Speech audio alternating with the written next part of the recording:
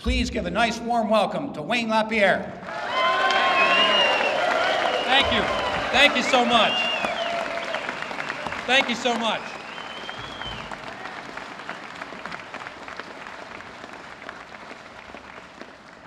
Leader, I want to thank you so much for the introduction, for your leadership, what you do every day fighting for freedom. Also want to thank Tom King, New York State Rifle and Pistol Association. You do an amazing job, Tom. I don't know where you are, but thank you.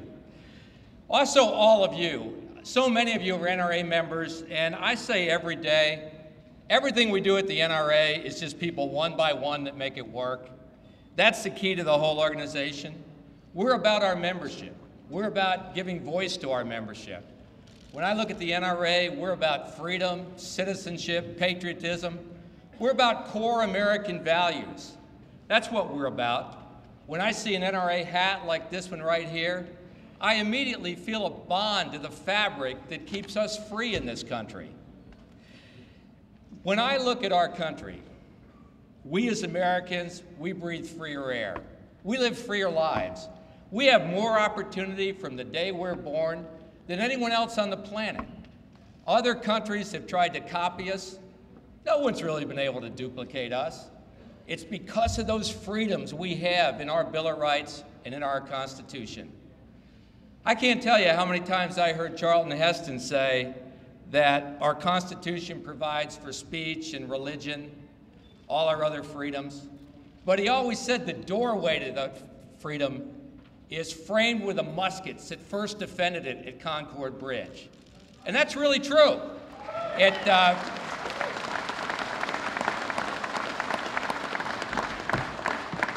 and we have to go out every day and still defend those freedoms because they're just words on a piece of parchment paper unless we go out and defend them. When you look at what we're about, so much of it, let's talk self defense. It's constitutional, but my gosh, it's also biblical.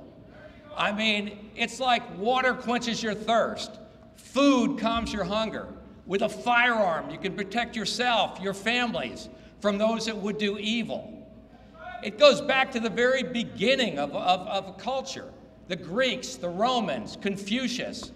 Christian scholars said it's God's natural law inscribed in every human heart. Jewish scholars supported it. Our founding fathers put it in the Constitution, and it was fought for by American blacks after the Civil War. The,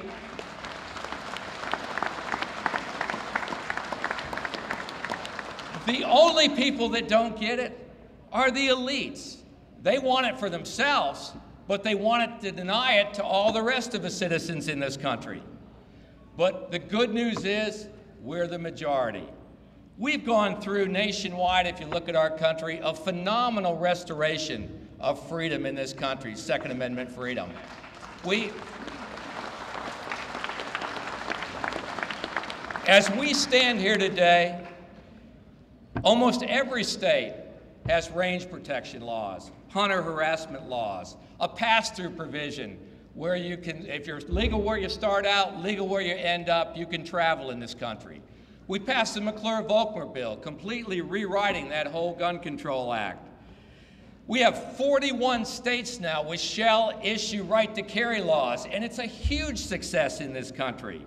And we saved the American firearms industry from all those nuisance lawsuits where they were trying to drive every American firearms manufacturer out of business. We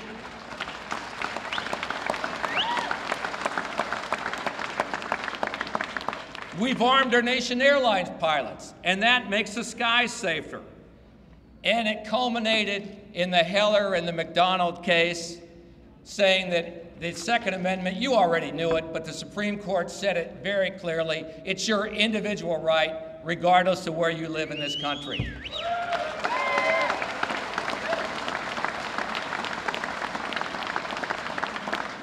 Through the great programs that you've all supported and helped funded, do you know we have child accidents down to the lowest level ever in this country? A child today growing up has one tenth the chance of being involved in a firearms accident that his or her parents did. That's because of you, this Eddie Eagle Child Safety Program. We have put millions of dollars into it. The people that criticize us, they haven't put 10 cents into making kids safe. We've funded it and we've made that progress possible, all of you.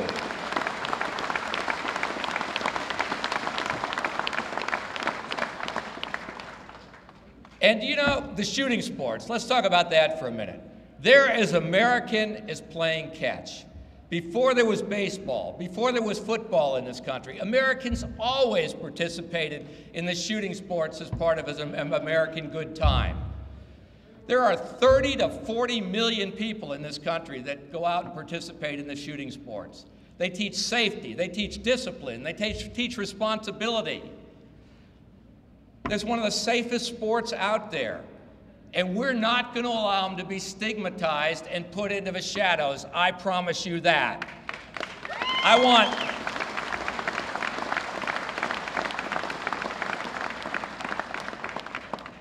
We want more American families out shooting, more ranges, more people enjoying an American good time. More people participate right now than golf, tennis, skiing. And it's a great sport, and we're proud of it. Let me also talk for just a minute about the threats that we're facing. We face in this country threat from a group of elites that it's almost gotten to the point where they think the heck with the Constitution, the heck with the law, what I say is the way it's going to be.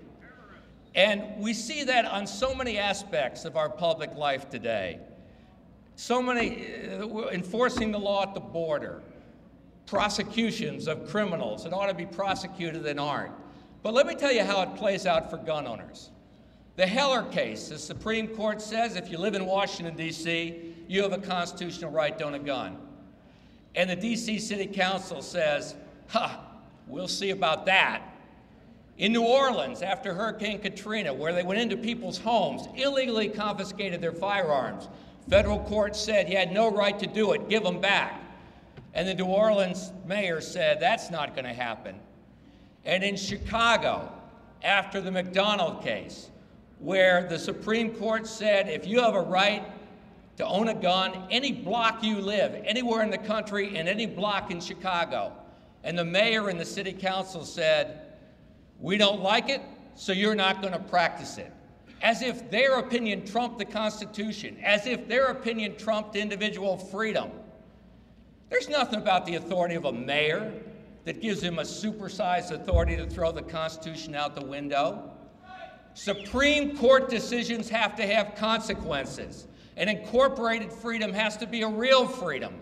Otherwise, they're simply toothless decrees, and the entire premise of American constitutional authority collapses. If you're rich and famous in New York City, and all of us know this, you get your permit. If you're a celebrity, a Wall Street executive, a banker, friend of the mayor, you get your permit. And yet, the honest citizen, you're flat out of luck. Well, this is all about the non celebrity, the non titan of industry, the non friend of Mayor Bloomberg, the non celebrity in New York City. It's all about your right to be safe, and we're never going to give up on it.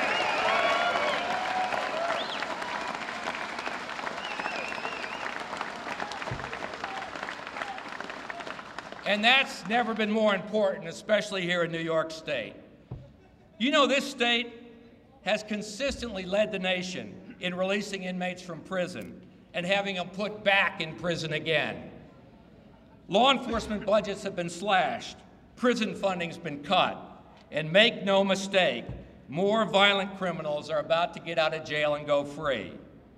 What the elites will do is try to use the crimes that they commit as an argument to leave all of you defenseless.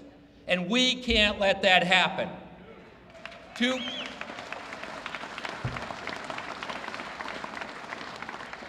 Two point five million times a year in this country, honest people use a gun to defend themselves from some criminal that ought to be in jail and is out walking the street. There are 25,000 violent crimes a week in this country. At the scene of the crime, it's the criminal and the victim. Nobody else is there despite all their good intentions.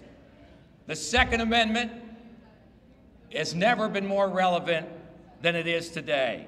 All those crime victims, and I've spent 20, 30 years talking to them, at the time of their impending death, when they're attacked by a criminal, they all say either I wish I had a gun or I'm glad I did have a gun because I was able to save my life.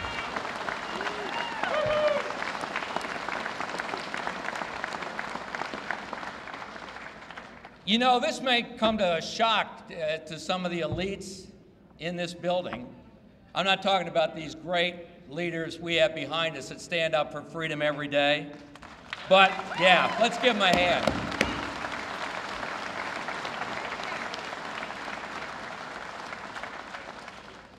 But most New Yorkers agree with the NRA a heck of a lot more than those elites I'm talking about.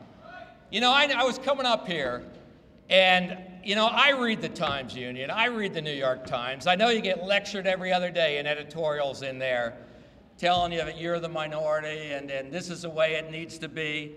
So I commissioned a poll by John Zogby, one of the top Democratic pollsters in the country, on where the citizens of New York State actually stand. Listen to this. We, all of you, NRA, all of these assemblymen and senators behind me, we believe there are enough laws on the books and that government should enforce the current laws that require jail time for criminals with guns. And guess what? Wait a minute. And guess what? By a two to one margin, New Yorkers statewide agree with us.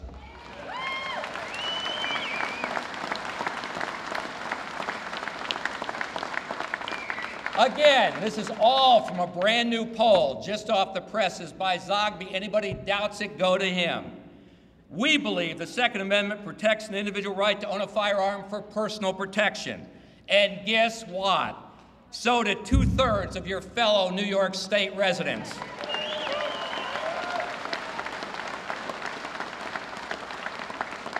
Listen to this one. We fight for the rights of law abiding citizens to carry a firearm on their person or in their cars for personal protection. Listen to this one, and guess what? Two thirds of New Yorkers support that too.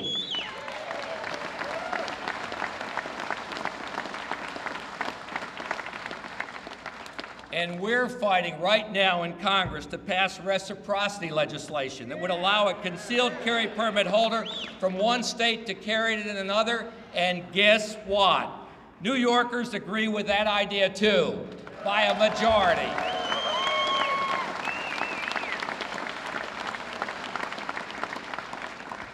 But here's the real kicker, and let me know what you think about this one.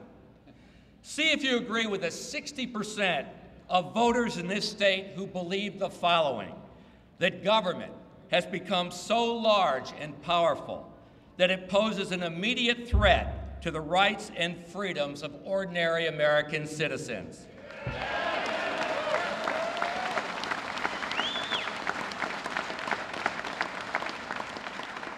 You see, most New Yorkers and most Americans agree with you and me.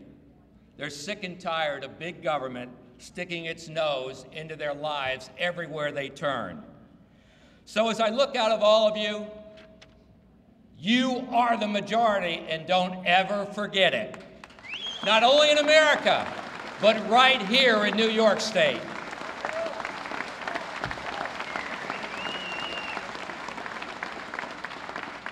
And the majority needs to stand up and assert itself because our soul, our values, and all the rights we've worked so hard to defend, all of what we know is good and right about America, could be lost unless we all remain vigilant. The president's already appointed two justices to the U.S. Supreme Court. And when given the chance, President Obama, he jumped to put Sonia Sotomayor and Elena Kagan on the court. They are two of the most rabidly anti-Second Amendment justices in U.S. history. They've joined Justice Ruth Bader Ginsburg on the court. Remember her? Not long after hugging President Obama like a giddy schoolgirl at the State of the Union address, she said this, and let me quote her I would not look to the U.S. Constitution if I were drafting a Constitution in the year 2012. I might look to the Constitution of South Africa. Think about that. I would not look to the U.S. Constitution if I were drafting a Constitution in 2012. I would look to the Constitution of South Africa? What about our oath of office to uphold our Constitution? If the president gets two or three appointments after this election on the court, the Second Amendment as an individual right in this country will be gone forever in our lifetime, and that is a fact, and we can't let it happen. Let me also tell you about another fact Fast and Furious. Yeah, you know, we were never supposed to find out about it. They wanted to create the appearances that straw purchases in the U.S. caused Mexico's drug war. So, what happened is the Justice Department and BATF conspired in secret to allow, encourage, and engage in illegal gun smuggling, knowing full well that those thousands of guns were headed straight to the most evil people on the planet, the Mexican drug cartels. They ran a massive campaign to manipulate public opinion in this country with this whole 90% nonsense that was never true. We're one of the largest law enforcement organizations in the United States in terms of membership. We have 80,000 police officer members of the NRA. They all said they're not coming from the U.S. International black market, Central America, defections from the Mexican army, not from the U.S. And they were also slandering the reputation of honest gun dealers when they knew the truth. It's the type of thing you'd expect out of some South American dictatorship, not a U.S. Attorney General, and sure not a U.S. President. In effect, they set up a dealership. In effect, they set up an illegal pipeline and sent thousands and thousands of guns down there. Lost track of all of them over a period of years. There were no prosecutions. I mean, it was unbelievable what went on. And then when it started to leak out, they started to say ridiculous things like mumbling about, well, in order to make an omelet, you got to break a few eggs. Those eggs were innocent human beings. Agent Brian Terry, federal agent, was one of those eggs. That can't be a metaphor that works. We can't let that stand. They crossed the line and we need to hold them responsible.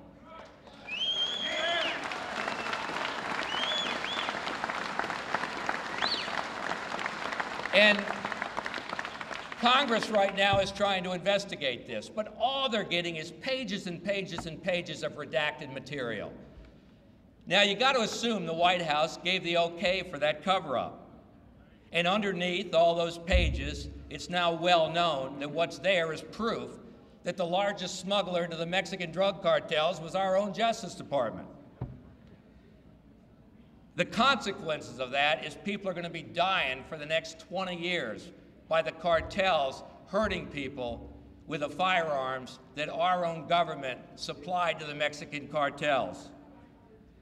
And just as indefensible, they were ruining the lives of honest American gun dealers and citizens and blaming them when they knew the truth. They ordered them to make every one of those sales and that's why the sales were made. They didn't even want to make them. I mean, just think about that. And then when the truth starts coming out, what you get is a massive cover up out of this administration, out of this Justice Department. Cover up's a crime. Remember that? We can't let that stand. They concocted a scheme to make what was not true appear to be true in order to pass more gun control laws on the American public. After,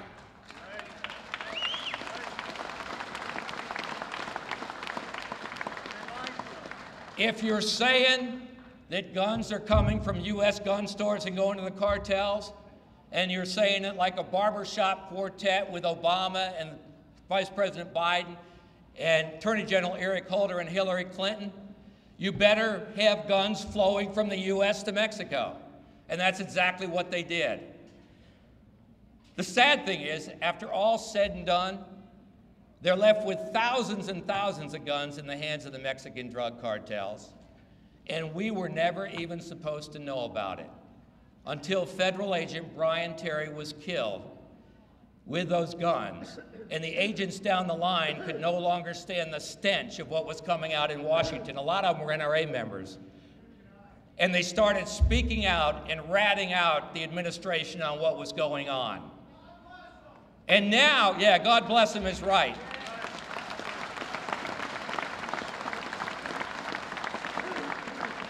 But now, rather than get the truth out of this administration, all you get, it's like pulling teeth trying to get the truth. All you get is this cloudy cover up. And then, when the Attorney General is put under oath and asked about what's going on before Congress, he still tries to blame the Second Amendment and all of us law abiding people in this country, as opposed to the Mexican drug cartels. It's so upside down and backwards. The American public, I'll tell you this, they are choking on it nationwide.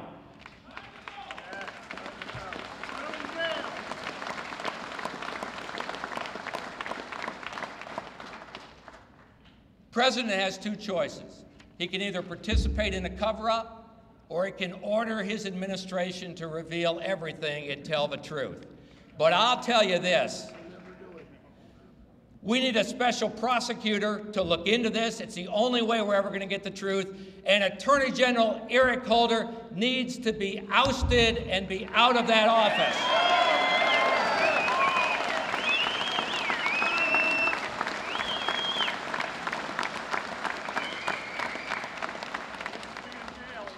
If that weren't enough, all the while that's going on, the Obama administration's working behind the scenes with this whole UN plan to enact some type of treaty or international agreement to affect your freedoms here in the United States. I mean, I've been around long enough to know the UN has little regard for our Constitution, and believe me, none at all for our Second Amendment. I went to New York this past summer, and I testified in front of the UN. And I, will tell you this you talk about an out of body experience. That was it. I mean, I'm sitting there and I'm looking out, and there's Iran sitting there looking at me, and there's Syria sitting there looking at me, and there's Cuba and Zimbabwe and all these other great bastions of freedom. And I'm sitting there going, You want to come into our country and dumb down our freedoms and infect us like a germ? I'll tell you this there's no way, no how, whatever, we're ever going to allow you to mess with American freedom.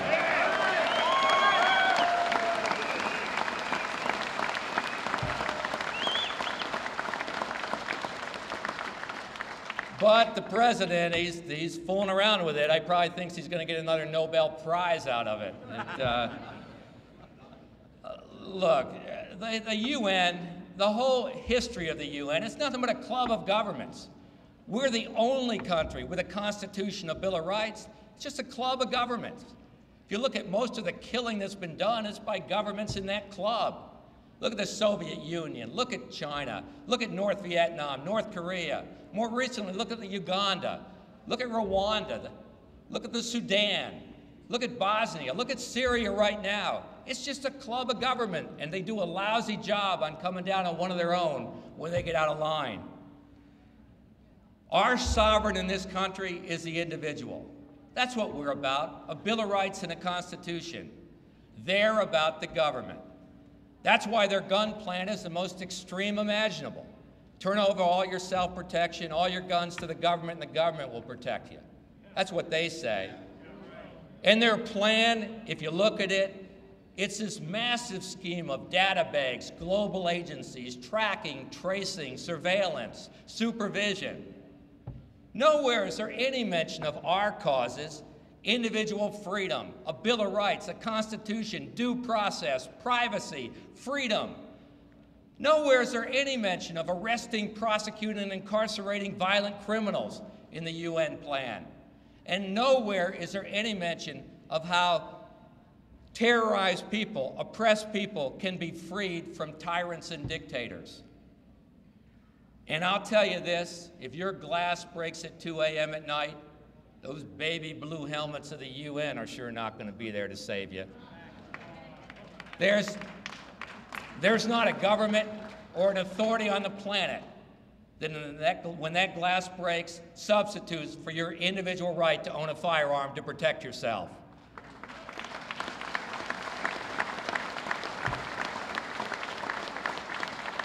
But there's this idea, and you see some of it going into the Obama administration, that in order to be a citizen of the world, Americans need to take a lesser amount of freedom in order to fit in. That somehow American freedom, America, needs to conform to some worldwide standard. That's a critical step down the path of losing our unique American way of life. American freedom cannot and will not bend to this will of the world that wants to impose a lesser standard of freedom on us. We will never allow that to happen.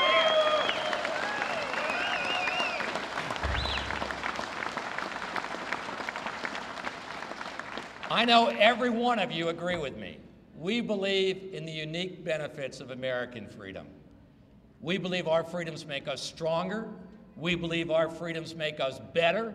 We think our way of life is better.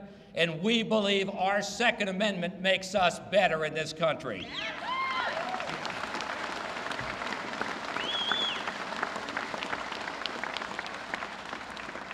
So, this is an all in year for our freedoms. All of our freedoms, all of our rights, all of our way of life, and all of the Second Amendment is on the line. And all means every one of you and citizens like you all throughout New York State. A hundred million American gun owners. You have a million permit holders just in this state alone. No one sits this election out. Each.